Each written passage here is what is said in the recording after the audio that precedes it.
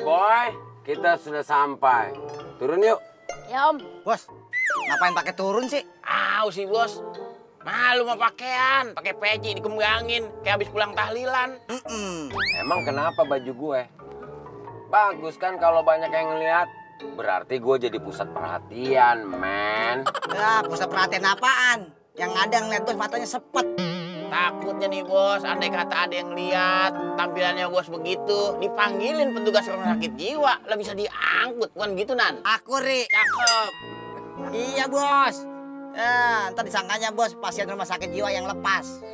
Yang begini nih, eh, nggak ngerti apa artinya cinta sejati.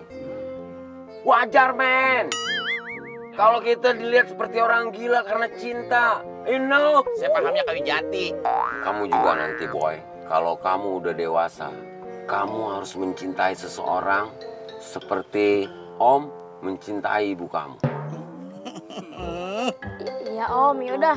Aku masuk kelas dulu ya om. Om tunggu sini aja. No no no no no no no no no my boy kita masuk sama-sama boy lagian kan pengumuman hasil tes masuk kamu hari ini sebagai calon badi kamu aku harus ikut menyaksikan pengumuman hasil tes kamu itu oke Repot Bos, nih, repot, bos. repot. Ketahuan udah ditolak sama Bumi mentah-mentah. Bilang calon dedi dari mana sih? kamu nggak usah dengerin mereka ya tutup kuping kamu Pakai dipraktekin kuping ditekep.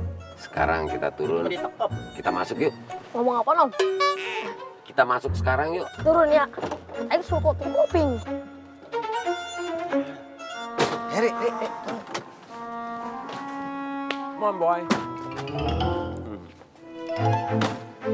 Eh, ah, lu ngapain ikut masuk? Udah tunggu aja di mobil sono. Kita mah baik, bos. Jagain bos takut ngapa-ngapa, ya, Ri. Iya, takutnya nanti ada petugas rumah sakit jiwa kena ngangkut bos, kan kita nulungin, bukan begitu nan? Aku, Ri. Ya udahlah kalau kalian memaksa. gitu dong, bos. Baik, anak buah. Tungguin bos, takut kesasar sini.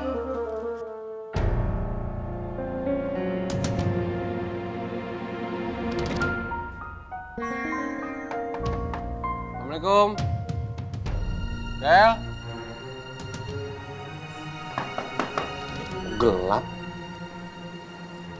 Mas, sih bu? rumah ini kosong, nggak ada orangnya. Oh gitu. Ibu tahu siapa yang kontrak di rumah ini? Yang dimaksud Mbak Dela kan? Oh iya bu. Oh ibu kenal juga sama Dela. Ya kenal lah, ini kan kontrakan saya. Oh nih maaf bu. Saya boleh kan nanya? Boleh, boleh. Ya. Tapi eh, kalau boleh tahu, Mas ini siapanya Mbak Dela sih? Heeh. Saya kakak iparnya. Eh bu, Dela ini tinggal di sini sama siapa ya bu? Setahu saya sih sama ponakannya yang namanya Gali. Sama Gali. Dela sama Gali tinggal sini sejak kapan? Kurang lebih ya satu tahun.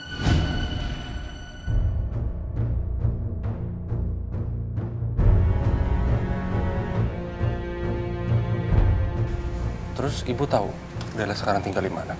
Saya sendiri bingung. Tiba-tiba Mbak Dela ini pergi dari sini. Oh. Padahal kan kontrakannya masih sisa tiga bulan. Oh, nih maaf nih saya nanya-nanya lagi bu. Eh, Kira-kira dulu Dela pas tinggal di sini pernah ada masalah nggak bu sama warga atau belum bayar kontrakan gitu? Mbak Dela mah nggak pernah ada masalah. Dia mah selalu tepat waktu kalau bayar kontrakan. Kok Ringo bilangnya hidupnya Dela susah ya? Eh, kalau Dela menurut ibu orang kayak gimana? Mbak Dela itu orangnya baik banget sama tetangga. Tapi ya itu ponakannya suka jahil sama anak-anak sini. Eh, ibu pernah lihat gak gelagat-gelagat mencurigakan tentang Dela? Kok Mas nanyanya begitu sih? Kan saya udah bilang Mbak Dela itu orangnya baik, sama kayak orang lain. Nih, berangkat kerja pagi, pulang sore, dia nggak pernah ada masalah. Kalau pacarnya bu pernah ke sini? Kalau itu sih saya nggak tahu. Tapi nggak pernah ada laki-laki datang ke sini sih. Ya Mbak Dela mah cuma sama si Gali aja. Tapi saya lihat-lihat Mbak Dela emang gak punya pacar. Mungkin dia karena sibuk ngurusin itu ya eh, ponakannya. Iya ya. eh, boleh saya minta nomor telepon ibu? Boleh, boleh. Berapa bu? 0822 Ya. 13 Hmm, oke. Terima kasih ya bu ya. Kalau ada apa-apa saya pasti telepon ibu. Oke. Ya, assalamualaikum. Waalaikumsalam.